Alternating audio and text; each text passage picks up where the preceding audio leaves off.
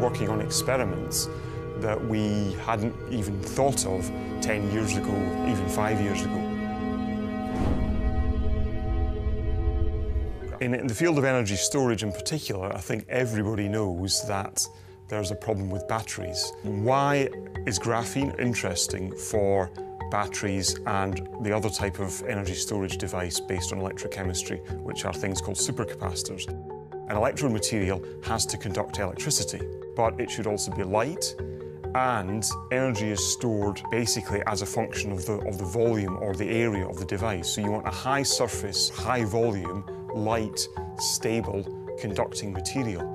And the advantage of graphene is that it basically ticks all those boxes. It's a material which people hadn't conceived or had only theoretically conceived but didn't think could exist more than 10 years ago.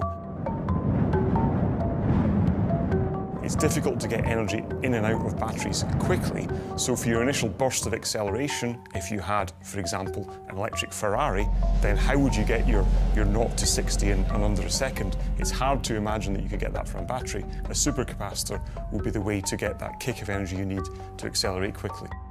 We could have flexible power storage. We could have batteries and supercapacitors that are bendable and therefore, because graphene doesn't break, or, or it's very hard to break graphene and therefore could be sewn into, for example, fabric. So you could store the energy within or have the energy storage device sewn into your clothes where you could have some graphene-based energy storage device that might even be effectively sewn into somebody's skin.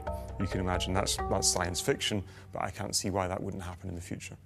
Because we're relying more and more on renewable energy from wind, from the tide, from the sun, then we need ways of storing that energy. And how do you store that energy? Well, essentially, giant banks of batteries and supercapacitors are feasible ways of storing that energy, but we need to improve the technology, and graphene can really make a difference there.